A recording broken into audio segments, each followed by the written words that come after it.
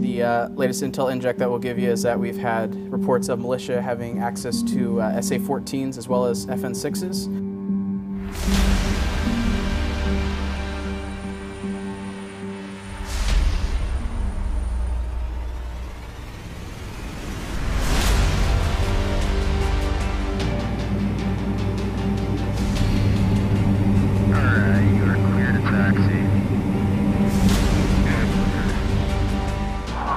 Aircraft commander, and we've got our scenario. The Greeks are asking us to do exertion based on the threat in the area. We're going to need to do this uh, mid slowdown and then egress immediately afterwards.